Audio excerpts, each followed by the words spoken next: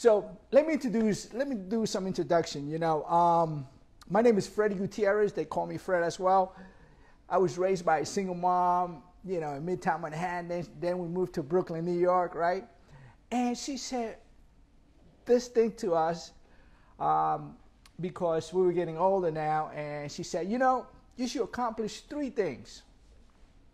One, get an education, get a college degree. Two, plant a tree. And number three, write a book. Praise God. So, you know, um, today we're going to read from the Bible, right? And the word Bible comes from Latin or Greek word that means book. Amen. Right? So this book is uh, for all people, for all times, even for now. It's relevant to us and it's relevant to your children. It's relevant to your children's children. It's for all times. And this book, the Bible is uh, it's written in 66 books. It's divided in two parts, the Old Testament and the New Testament, right? And there's about 40 authors that is written in a time span of uh, 1,500 years. But with one central theme that Jesus loves you. Praise God. Hallelujah. You know, so, but there's one book that's incomplete in the Bible. It's called the Books of Acts. And the reason why it's incomplete is because your story needs to be written there. Your book has to be written there. So let me ask you a question now. If they were, if we were to write a book about you, a biography, what would be the title? Ha. Huh. What would be the title? So today, um, we're gonna read from the book of Psalms 9 in your Bible, Psalms 9. All right? In verse 9 through 11. In Psalms 9, verse 9 through 11, reads like this It says, The Lord is a refuge for those that are oppressed, a stronghold in times of trouble. Those who know your name trust in you. For you, Lord, have never forsaken those who seek you. Verse 11 Sing the praises of the Lord enthroned in Zion, enthroned in Jerusalem. Proclaim among the nations what he has done. Praise God. You know, so today I'm moved to share what God has done in my life. And I'm going to title it today's message, My Story. So, my story begins after a trip from Miami about 33 years ago. It was the spring was springtime, you know. And what happened is that we came back home, a friend of mine and I. The rest of the team stood in Miami, and the reason we wanted to leave because we had late business meetings. We, there was a lot of drugs, a lot of alcohol, a lot of clubbing. And my friend, who was really out in the world, says, "Look, we're going to lose it here."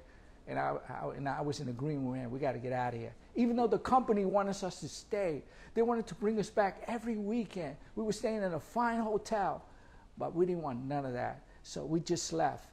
You know, I was two and a half years married, you know, but I wasn't fully committed. Because if I was fully committed, I would have, I would have not been in that situation. You see, my health, when I came back to New York, it started deteriorating my health started going downhill. I remember I was feeling weak. I remember, you know, losing weight. I was getting emaciated. Mind you, I worked in a place, it was about beauty. We were in the beauty industry. Everybody had looked great. All these brand name, without seeing all those people, you know, that's what the environment that we were in.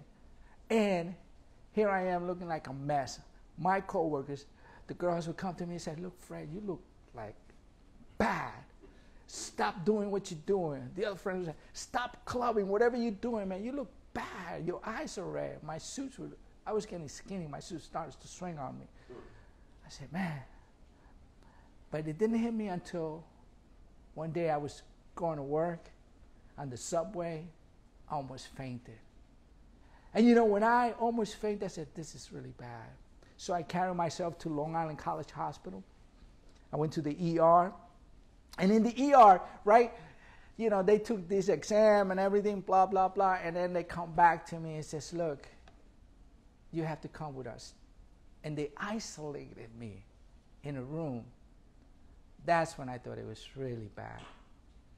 You know, and I think if anybody would have walked in, I was so scared, so nervous. I think somebody walked in and said, boop, I would have dropped dead. That's how scared I was. You know, and then uh, realization kind of hit me. You know, in New York, New York City at the time, there was an epidemic going on. You see, and this reminds me when I was in high school. In high school, I used to work in the east side of New York City, and I was the youngest one in this crowd and everybody around during the weekends they will gather and they will go to Fire Island, the Hamptons, and so forth. And I was always invited. And if this particular person, his wife, would show up, there was drugs enough to cover Fire Island. So it was going to be crazy. So here I am in the midst of this, remembering this. I even went to college, and when I went to college, I remember this happened then just blowing up. It was getting crazier and crazier. Then I started trying to reach to my friends. They all began to disappear. I remember we visited this particular friend, and we had to go with masks and stuff. And he disappeared later on. He passed on. And so forth. People were disappearing in New York City. They were dying from this. And here I am in this hospital, sitting down. And I'm just recalling, I said, My God, all my bohemian life, all my rebel life, the way I want to do things is ending. I'm about to die. And here I am. And here comes this team walks in and asks these questions. Um, how many men you have in your life? How many women you have in your life? What kind of intravenous drugs have you been using? What kind of drugs you do? Are you gay? Are you bisexual? I was just totally nervous. Then they came back and they said, you know what? We found an infection in your blood. We don't know how to treat this, but we're going to give you some medication to see how, you go, how it goes. And I want you to contact, if you're married, call your spouse. If you're not married, call your family. If you have no family, call your friends. Look at the questions. Look at the categories I'm being put in. So I called my wife. I was so scared. I was so ashamed that my life, my double life, has caught up to me. And here I am in the hospital, about to die. You know? And the truth comes in later on. You see, the truth is that I didn't know the truth. You know? The truth is Jesus. I was so far away from the truth because I was doing my thing. You see? And my mom saw me one day and says, Are you all right? Said, because apparently I didn't look good. And I said, I don't know. She says, Don't worry, this Saturday I will take you to my friend. I said, Okay. And she's going to do some kind of cleanse on you. I said, Okay. You know, I'm willing to try anything. So when we went to meet her friend in the Bronx, I remember um, we, she took us, to, she took me to this room. I'd never been in this room before. I've been to a house before. I'd never been to this room before. And in this room, there's fire. There's all kind of, uh, I don't know, I don't know, some kind of leaves, all kind of stuff, man. It was cool. And there's a Bible in the midst of all this craziness. And if you don't believe in the devil, I want to tell you, that at that moment that woman became possessed, something possessed and it wasn't good. And she started doing some crazy things and everything, and started talking gibberish and so forth. After we were done, we went to the living room, and we were in the living room, you know, we'd kind of say all goodbye, and I was the, the last person to, about to leave the apartment. As I was stepping over to the hallway, she holds my arm, and she says these words. She says, "You know, you're not going to be my friend anymore. I said, Of course I'm going to be your friend. You're not going to be visiting here anymore. I said, Of course I will visit. You're my friend. I will, I will visit you. And then she grabbed my arm again and she said, Cling to God. The doctors can't do anything for me. witchcraft can't do anything for me. That's what she was. She was a medium, she was a spiritist. She was doing witchcraft. You see, Hosea 4 6 says, My people perish. In other words, they are destroyed for the lack of knowledge. You see, for the lack of knowledge, we do all these crazy things instead of the truth. You know, when you do crazy things and evil things, the Bible says that you arouse anger in God. God's going to be angry at you. Things are not going to go well with you. And Leviticus 19:31 says, "Do not turn to mediums or seek out spiritists, for you will be defiled." In other words, you're going to be violated by them. I am the Lord your God. Look what God is telling us. Don't seek these people because you're going to be violated. Let me illustrate you what the Lord was saying. I met a young woman one time because she came to our office for to assist her with help and with some kind of services. And I spoke to her. She told me her story. And her story was that she married this man who pays so much money to dress all in white and to do witchcraft. And she was following the same step to be that person. And you know what? People will come up to them seeking help. And she said she met 50 married people that they destroy. 50. That means the legacy of those children were never going to be met. They're not going to be raised by a, a full family. Destroy 50 marriages. That's what defile means. But the reason she got away from this is because one day, because they have the Bible, these people have the Bible, these people do the witchcraft have the Bible. One day, she read a, a psalm, and it was a psalm that her mom read to her when she was a little girl. She was so rebellious, she left her mom, she left everything to live this life. And when she read that, she said, It's time to leave this life. And that's why she was in my office seeking help because she was moving away from that because that was evil. Praise God. You see, the Bible talks about that you and I can repent when we do evil things. In Isaiah 42 25 says, I, even I, and he who blots out your transgression. Look, God wants to erase those things from you. For my own sake, and remember your sin no more. Look at that. God is so good that He wants to block out. He wants to change that darkness in your life, and He won't have it no more. And you won't have it no more. Look at Proverbs 28 13. Whoever conceals their sin does not prosper. You know, if you keep doing evil things, you will not prosper. God's face is going to be on you. You think your boss's face when he's on you is bad? When God is on you, nothing's going to go well for you. You see, whoever conceals their sin does not prosper, but the one who confesses and renounces them finds mercy. Praise God. That means whatever you have done, you could say to the Lord. And you could find mercy. And you could repent from your ways. And you'll find mercy. So, my friend, she said I wasn't going to see her no more. You know, and to cling to God, here I am, dying.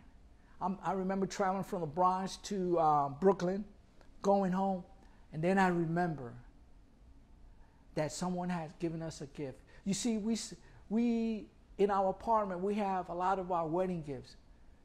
About two and a half years in our marriage, and we were saving them because we have very few furniture and we were getting other stuff so we can put these gifts there and we could use them. So we still had them packed. And I remember somebody had given us a Bible as a wedding gift. I started looking for it, and when I looked for it, I found it, took the dust off, and that person that gave me that gift, that was my brother in law, Vincent. He gave me that Bible. I started reading that Bible from the beginning because that's how I was taught to read. You read the Bible from the beginning. You read a book from the beginning. I started reading Genesis, and I said, Wow, God made the heaven and the earth. Praise God, you know, and I kept reading. And then I read that, you know, uh, Abraham is not a cartoon, it's for real. And then I went into Exodus, and then I, I said, wow, look at this. That movie is based on this book. Moses, he opened the sea, he's real. That's how far I was from God. And then I crashed. I was reading the book of Leviticus. I crashed. I did not understand. I said, I never seen this done before. You see, I was seeking God. I was going after him because he was the only one I believed that was going to heal me. And you see, I read that you had to make a sacrifice. You know, I said, what am I supposed to do? do I, am I supposed to go to the biggest church in New York City, St. Patrick's Cathedral, and speak to the Cardinal, Cardinal O'Connors at the time and bring these doves so God can forgive me for my sin and I can be healed? That was crazy. I couldn't understand that. And then I was getting a little upset. I said, Where's the Lord's Prayer? I'm looking for the Lord's Prayer. My mom invested so much money, a single mom, to put my sister and I to a, a Catholic school. And here I am, don't even know the Lord's Prayer. I said, Where's the Lord's Prayer? So I got so frustrated, I started looking for a, a church. I went around my neighborhood where I used to work in Midtown Manhattan. I found this church. I knocked the door. I said, I want to speak to the priest. He says, Okay, come on in. I'll get the priest for you. The priest came out and says, Hey, how you doing? Listen, I'm looking for the Lord's Prayer. The Lord's Prayer. You got a Bible? I said, Yes. Where you reading from? I said, Leviticus. Leviticus. He says, Come on in. He says, Look, the Bible is has two parts. It's the Old Testament and New Testament. You read from the Old Testament. You need to read from the New Testament. And he gave me wise counsel. He said, Look, read the New Testament as you're reading the daily news. In other words, a newspaper. And after you read it, come back again and read it with understanding. The first book in the Old Testament is Matthew, and you're going to find the Lord's Prayer there. Thank you. I left. I started reading Matthew's. I said, Oh my God, Jesus Christ. And there was the Lord's Prayer. And I learned in Catholic school that you had to repeat the Lord's Prayer nine times. I was repeating the Lord's Prayer nine times. I remember I was Catholic. I started going to, to church, to a Catholic church, a few blocks away from my house, St. Francis Xavier. I used to go on Sundays. Then I learned they meet on Wednesday, but nothing was happening to me. I was getting worse. And I was concerned because I saw my first son. I said, man, I'm going to leave him fatherless. I saw my young wife. I said, man, she's going to be a widow. And I remember walking to Manhattan, going to my office, Midtown Manhattan, all these big buildings. And I, I said, man, I'm going to leave this world, this beautiful place. And then I try to justify myself with God. You know, I think you've been in that position too. You know, and here I am trying to justify myself with God. I said, God, I married my wife. I didn't elope with her. I asked the parents for permission to marry her. I went to college. I got a college degree. I just started my career. And now I'm dying. Why me? You know, you get to that why situation. Why me? Why this is not happening to so and so, to the criminal, to the tecato? You know, that's slang for a drug addict, you know? And I was going like this, you know? Later on, I learned that when you do stuff like that, you know, you can't justify yourself with God because God is all just and all righteous. And here I am trying to justify myself with God, you know. And so now it's summer. And in New York, summer gets very warm. And then my brother in law, Vincent, who lived in California, came to visit New York, came to visit his family. And he came to visit us. And he said, Hey, I heard you reading the Bible. I said, Yes, I am. I heard you going to church. Yes, I am. I would like to go to church with you. I said, You're more than welcome. So I go on Wednesday. He came Wednesday. We went to church to St. Francis Xavier, the Catholic Church. We went. And then he, after the Mass, he says, Do you think that's biblical? You see, I had a problem because I was reading a lot in the Bible. I was reading the Old Testament and the New Testament. You see, and when the priest, now I, I have a lot of knowledge about God's Word because I'm reading it. And when I hear the priest, it didn't concur with what I was reading. So it makes sense what he said. But that I just answer, I don't know. So he says, Hey, I would like to come on Sunday and show you some churches that speak about God. I said, Of course. Sunday he came. We lived on a three story uh, brownstone house in Brooklyn, which is still there.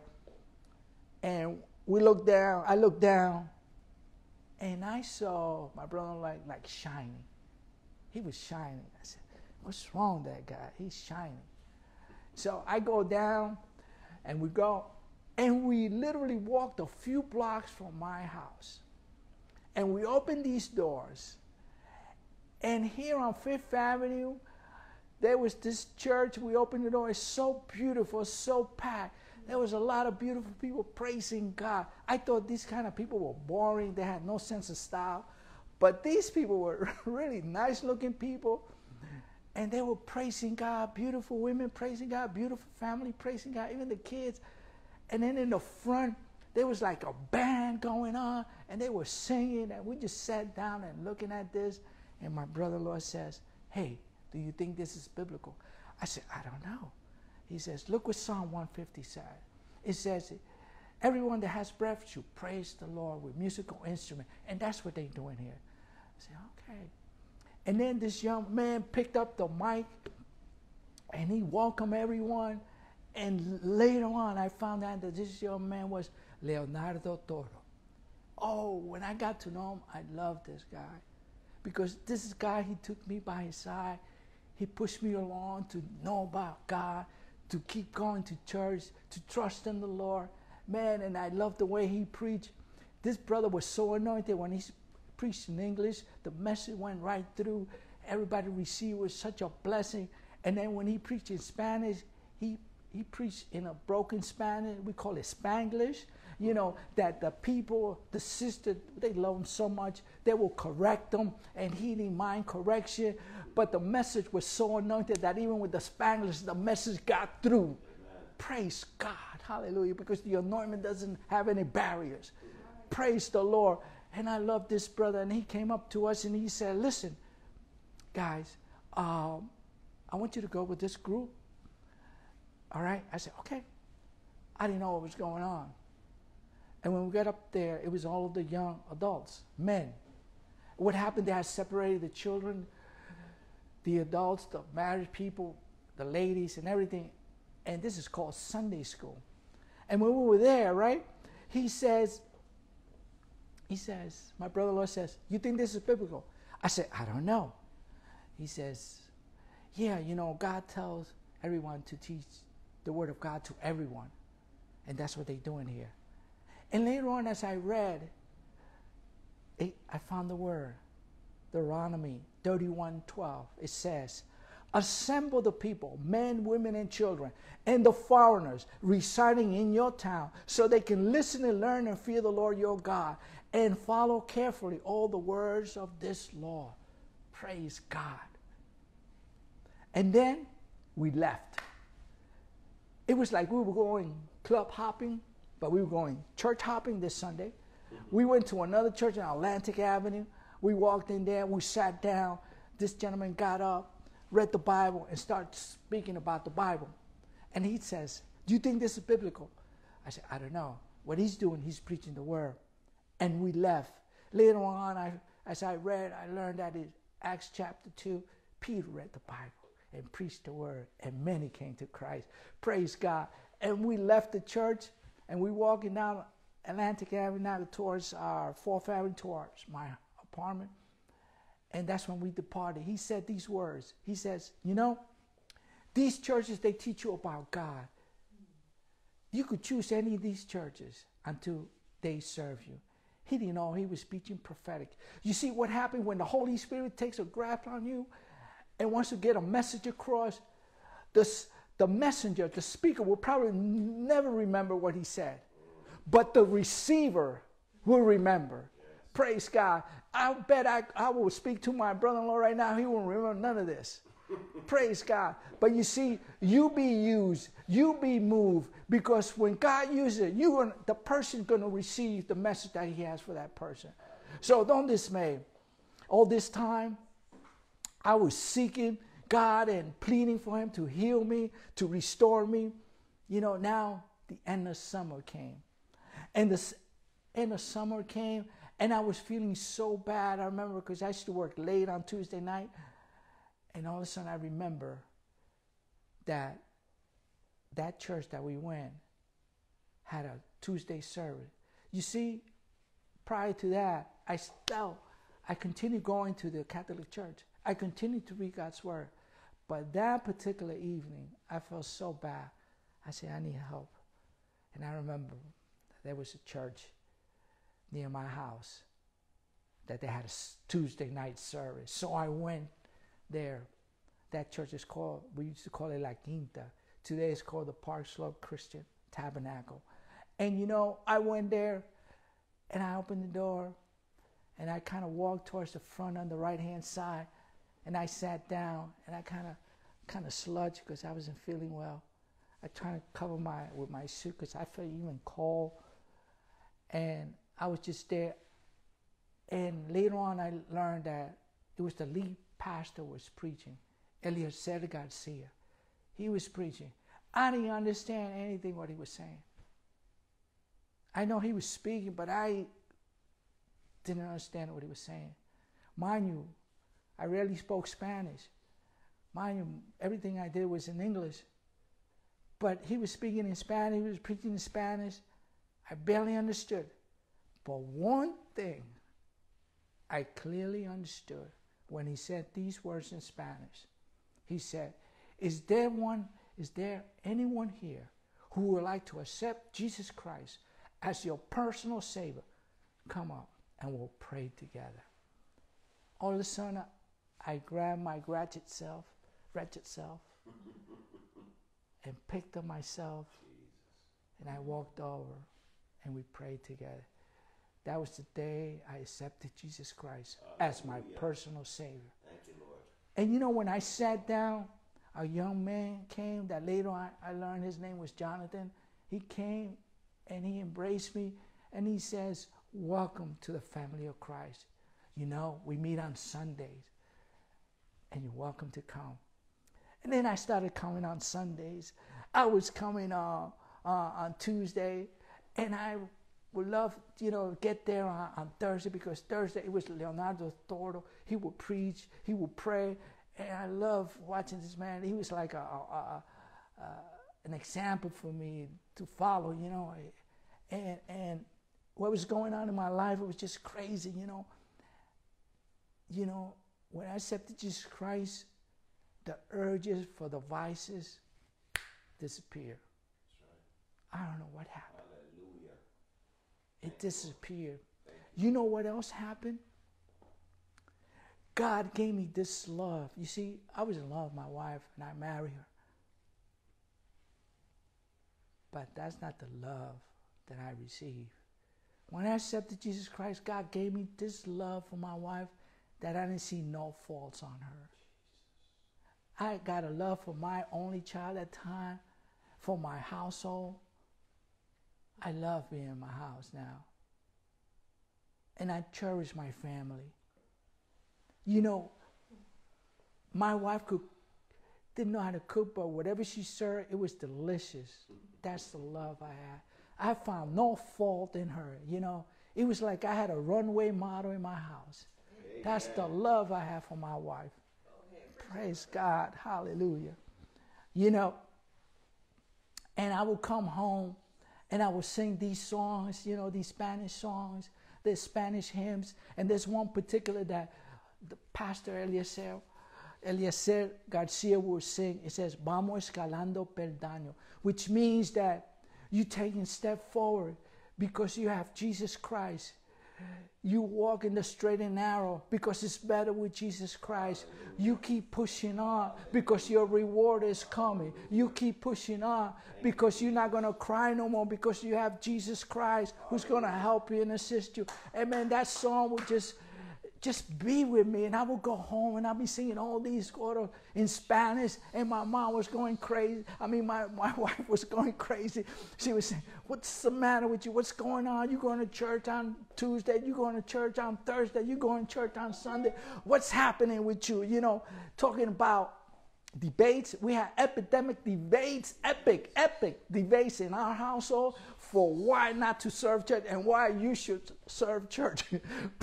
God, hallelujah. Man, we will get on it. Man, it was so such a struggle with my wife at that time, you know, to tell you such a struggle that it, it came one time that she was saying, look, man, my family has this big New Year's Eve party. We got to go. And I said, look, I don't want to do that no more. You know, she always wanted to go out I was running away from that and she was pulling me back in there. I said, I don't want to do that no more. And, and you know what she did on that New Year's? She left. She left me and the kids. That's how bad it was. But you know what? I continue to press on. I continue to pray on. You see, young man, young sir, Young lady, I'm telling you right now, that's why you need to know you got to meet someone who knows God because you'll be in one accord. Because when you are in one accord, the goals that you want to achieve, you will get there. Because if you meet someone who is not in one accord with you, who loves the world and you love God, you know what? You're going to be struggling left and right and you never achieve the goal that, that is there for you, the blessing that God has for your life. Praise God. But I kept pressing on because I had a pastor, Eliezer Garcia. He would come up to me and he says, I know you come a little late. I said, Yes, Pastor, every Tuesday I work late. I, this is the time I get. I should get to my neighborhood about 9, 9 30. And he says, Don't worry, you know, the best thing about food is whatever's left in the pot. That's the best part. So keep coming, keep coming. He would embrace me. And when I told him about my wife that she wanted to come to church, said, Don't worry, just continue to love her, continue to pray her, to pray for her, you know, keep going, man. And this brother just keep pushing me, man. But with love and kindness and goodness, you know, I feel so good in that church. And uh, we just keep going, pressing on, pressing on. And it was a struggle, praise God, hallelujah. But God was with you. God is with me. God is with us. If you confide in God, He will not leave you. He will not forsake you. He be with you. Praise God. Hallelujah. Then Hallelujah. Then we, the encounter. You see, one the young people, the young adults, the, the guys, they embraced me. I remember there was a guy named Israel, there was a guy, Ismail, um, Victor, and I remember one day after service, they just prayed for me. They says, Come on, brother, I want to pray. We're to pray for you so you could be baptized with the Holy Spirit fire. I said, okay, you know, I'm uh, like, I'm like new in church, you know. All right, and they took, you know, in this church they had a particular room, prayer room. We would go there, they were praying with me, praying, praying, praying with me. Praise God, you know. Later on, I was baptized the Holy Spirit fire. I started speaking in tongues. Praise God. But they don't know that because I never testified that to them because that happened years later. But it was that prayer. Praise God. And you know, the encounter, the same brother say, Look, brother, this particular Sunday, try to be a little earlier because we are going to have an evangelist. I said, What's an evangelist? It's someone that God uses that preaches God's word, and He uses them in signs and wonders. I said, Okay. And that particular Sunday, I came late. And when I opened the doors to the church, it was packed. I mean, it was packed. It was packed at the aisles. They had put extra chairs. Praise God. In the back, it was packed. I had to make my, I had to push my way through so I can see whoever was preaching. On the side of the church, it was packed. People were standing. It was standing room only. And I was there. There was no floor. That was no floor. It was, that church was packed. I don't know who that evangelist was. I don't know his name, but I know he was there.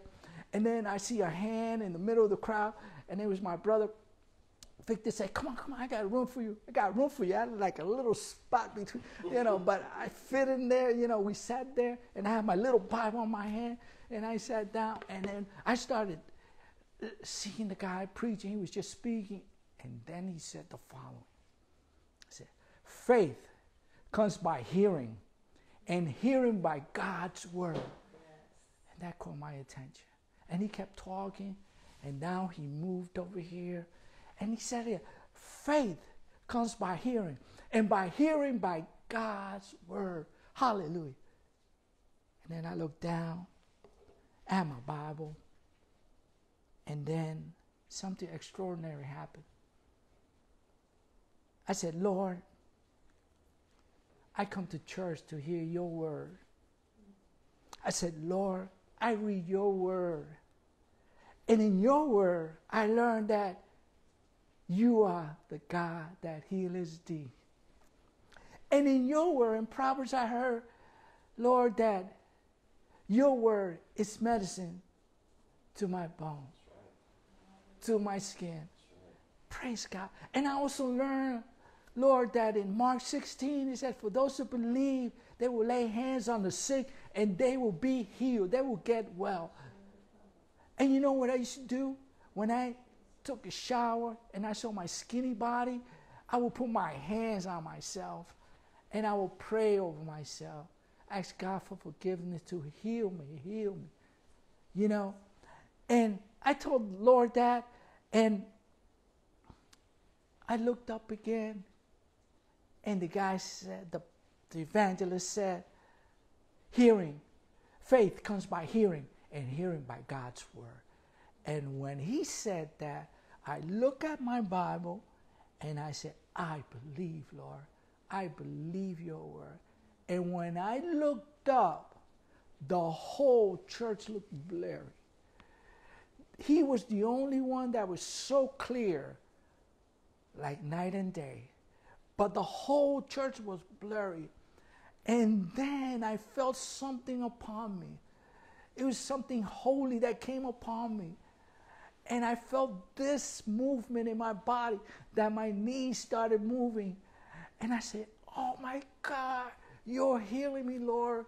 I wanted to scream, but I was screaming inside, Oh my God, you're healing me, Lord. And I was trying to hold on because something has come over me. Praise the living God. That evangelist probably would never know that that miracle happened. Some of the people in that church at Park Slope Christian Tabernacle will never know what happened. But it was there that the Holy Spirit got a grasp on me and then healed me. Praise God because I said, I believe. I believe. And I have faith in God. And God healed me that day. And that was the day that I met Jehovah Rapha, the God that heals thee. God is your healer. God is my healer. For whoever call out to his name, he would heal you. Praise God. And then miracles started happening in our life. Praise the Lord. You see, now it's coming on almost to autumn of that year, and the birth of a second child is coming. All this time, my wife is pregnant. And praise the Lord. I remember it was time to give birth. And I remember praying in the kitchen. I said, Lord Jesus, have mercy on us. I brought all this stuff to this family. I brought all this stuff to my wife who doesn't even know this. Have mercy on the child. He's no part of this. Have mercy on, on my wife. Because we were going to the same hospital I was being treated at. And you know what? That day, the word came. The word says in Acts chapter 16 31, believe in the Lord Jesus Christ, and you and your household shall be saved. You know what? When we gave when we gave birth, we always had two names, uh, Lauren and Giovanni, Eric and Giovanni, and Giovanni came. Praise God. And he was well. My wife was well. Praise God. Two years later, we giving birth again for our third child. And I remember coming back from Sunday school and I see my wife lying on bed and she says, I want this child to be a girl. But we're not going to have no more children. If it's a boy, I said, absolutely, you know. But I want, I want this child to be a girl. And I said to my wife, I said, you know what? I learned in Sunday school today where there's two or three in his name, he's going to be in the midst of. Did you believe that? And she said, Yes. Let's pray for this child. And we pray for this for the third child. And the word came true. Lauren came in. Our third child was born. Praise the living God. Because we trusted in the Lord, God started working in our life. Hallelujah. You know, God answered our prayers. You know, God has blessed our family. You know, my wife just didn't stay that way. Another time there was a young man preaching in, in church at that at La Quinta and she accepted Jesus Christ. Praise God, you know. And our family all served the Lord. Praise the Lord. Lawrence, he's like an evangelist. We've been in so many mission trips. We've been we doing so many things for the Lord all this time. But it was because God came into our life. We allowed God to come in. We call out to his name and he has blessed us. Sometimes we watch TV and we say, Oh my God, we've been in that country. Oh my God, we've been. It was God making a way for us. Praise the Lord. Hallelujah. You know, I wanted to be healed right away when I was going through that crisis. You know, I don't I don't wish this on anyone because it was a very, very dark time in my life. And you know what? I wanted God to heal me right away. You know? But God did not heal me right away. It took a while. And I thank God it happened. Because you know what happens when you're in a trial, in a situation? Those are the times that you get close to God. Those are the time you call out to God. Those are the time you remember. Like I remember, I was a Catholic. I, then I remember I, somebody gave me a Bible as a gift, and I started reading God's Word. That's when I got close to God. It's those crazy times that you and I get close to God. And it's, and it's those times is that God will reveal himself to you because those are the times you humble yourself. Don't wait to times like this. You can humble yourself now. You can call to God now. Don't wait till there's a crisis in your life. Hallelujah. Don't wait till where there's some life change challenges in your life. Call out to the Lord now. Hallelujah. Listen, I, I, I, repent from saying all these things, you know, about God, is trying to justify myself about why me, why me, why this is happening. You know, Moses, when he took out the people from Israel out of slavery, you know, when they were in the in the desert, you know, they started murmuring, talking about God, you know, hey, listen, you know, you, if you were God, you have gave us all a Tesla, you know, so we could go air conditioning, you know, and some prime ribs, you know, to go along the way, you know. You never had prime ribs. You never had a Tesla. You never had that. Why are you murmuring against God? You know, look at Job. You know, Job, he was blessed, man. He had everything. He lost everything. He lost his business. He lost his kids. He lost everything. And on top of that, he was afflicted with an illness. And you know what Job said? Blessed be the name of the Lord. He never spoke about God. And you know what God did? Multiplied everything and more. Praise the living God. Hallelujah.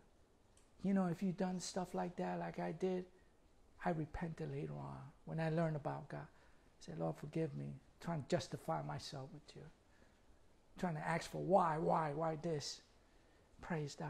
As we close today, you know, perhaps you lost a child. Perhaps you're going through some craziness. Perhaps you've been in a terrible accident. Perhaps your spouse left you. Perhaps you know you're in a situation where there seems to be no way. Perhaps you're being afflicted with an illness, cancer, whatever it is. I want you to remember this. Psalm 9, verse 9 to 10. I'm going to read it for you. The Lord is a refuge for the oppressed. If you're being oppressed right now, remember these words. The Lord is a refuge for you, a stronghold in times of trouble. Perhaps you're going through some situation that you find no way out. He's a shelter for you. Praise God. Look at verse 10. It says, Those who know your name trust in you. Praise God. Get to know God and trust in Him. Look, we trust on some of our spouses and they leave us. We trust on our jobs and the job ends. We trust on money and the, mon- the money is gone. But trust in Him. Hallelujah. Because you know what it said? For you, Lord, have never forsake those who seek you. Hallelujah. He will never leave you. He will never forsake you. He'll be with you. He will walk in the shadow of death with you. No matter what you're going through, no matter what your situation, cling to the Lord. Grab onto his promises. Praise the living God. You see, when we read this, when we read God's word, it's like a balm that comes over you, that suits your body, that heals your skin, that heals your bone. Hallelujah. And that's what you get in God's word. Praise God. Trust in the Lord. Hallelujah. No matter what you're going through, trust in the Lord. God is your healer. Hallelujah. Believe. Oh. Believe. I believe I'm speaking to someone right now. Believe. Hallelujah. And receive it. Right there, receive it. Wherever you're at. Wherever you're at. Whatever you need is, receive it. Hallelujah. If it's over your health, receive it. Hallelujah. Divine healing, divine healing, divine liberation. Hallelujah. Divine forgiveness for your wrongdoings. Hallelujah. Divine forgiveness for our parents who have done so many crazy things that now we are suffering. Forgive your parents. Hallelujah. God is ministering right now. Hallelujah.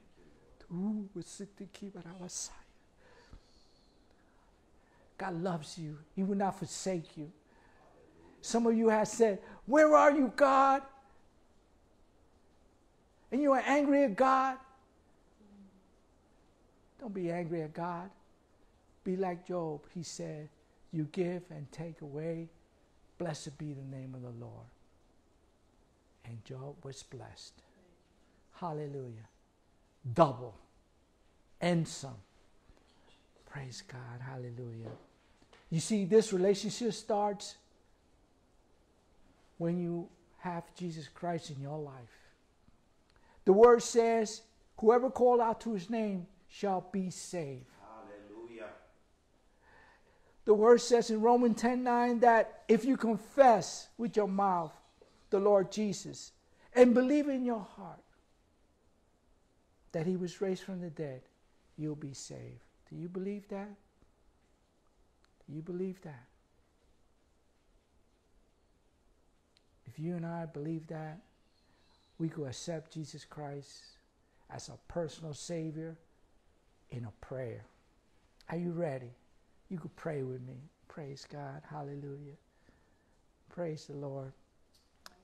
Pray with me. It says, it goes like this Lord Jesus, forgive me for my sins. I repent from all my ways. And I open the heart of my heart. And I accept you as my Lord and Savior. Hallelujah. In Jesus' name we pray. Amen. See, when you open your door to Jesus Christ, He will lead you, He will guide you, He will bless you. He's going to show you things that you never seen before. I have seen things that I've never seen before. I thank God that God brought me to that church in Brooklyn, New York, which is called now the Park Slope Christian Tabernacle. I thank God for Pastor Leonardo Torre. He went on to be with the Lord. He never saw me preach. He never saw me evangelize. He never saw me going to a missions trip. Praise God. But his work is alive. Praise God. And you, as a minister, keep doing the work. Praise God. Because when you get to heaven, you'll find out what your, the fruits of your word. Praise the Lord. And thank God for Pastor Eliezer Garcia. He almost took me like a son guided me, encouraged me, gave me great counsel in the middle of my crisis. He didn't know I was dying. He didn't know I was going through some crazy things. Even my marriage was such a chaotic situation. But God made a way for us. Praise God, and we are here today. We thank you, Lord Jesus. We thank you for the work that you've done in our life. And we thank for the, the work that you're going to do in everyone here. Father, Lord, right now, we're going to pray for you. We're going to pray for your marriage. We're going to pray for your health. We're going to pray for whatever you think that you have no way out. We're going to pray for your business. Hallelujah. Father, Lord, in the name of Jesus, Lord Jesus. Hallelujah. Hallelujah. Father, we ask that you touch everyone that is listening, Father, Lord. Father, Lord, that we bring up their burdens up to you, Father, Lord. If they are stricken by any kind of illness, arthritis, cancer, whatever it is, we bind and we cast it out in the name of Jesus and we declare divine healing over them. Hallelujah, Father. Lord. For those that are fighting those spiritual warfare because of the wickedness of witchcraft, we bind out that wickedness, that, that, that the devil's lie, we bind them out of their lives, that unholy alliance and we bind them out of their lives in the name of Jesus and we are del- they are delivered by the blood of Jesus Christ. Hallelujah. Father, we pray for the people, their businesses, Almighty God. Make a way for them, Father Lord. Open their accounts, Almighty God. Bless their finances in the name of Jesus, Father Lord. Father, those marriages, Father Lord, in the name of Jesus, Father Lord. Father, heal their wounds, Almighty God, Father Lord whatever have come against these marriages that try to break them apart, we bind that and we cast it out in the name of Jesus, Father Lord. And let th- these marriages get healed, restored for your honor and your glory, oh Lord Jesus. Oh, I tell everyone today trust in the Lord. Trust in the Lord. He will not forsake you, He will not leave you, He will not abandon you no matter what your situation is. Hallelujah. I was such in a bad situation that God took me out. I was so deep in the dark that God brought me to the light and blessed my family, gave me two more children when I thought it was all ended. But to Him, it was the beginning. And today is the beginning of your life. Trust in the Lord Jesus Christ. Trust in the Lord Jesus. Trust your marriage to the Lord Jesus Christ. Trust your business in Jesus Christ. Trust your life to Jesus Christ. Hallelujah. And you're going to be blessed today. Hallelujah. Blessed be the name of the Lord. Blessed be the Lord. Give God praise. Blessed be the name of the Lord.